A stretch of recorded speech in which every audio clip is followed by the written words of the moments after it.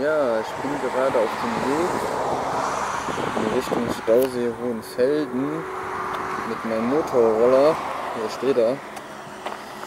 Und ja, und ich genieße hier gerade ein klein wenig Aussicht.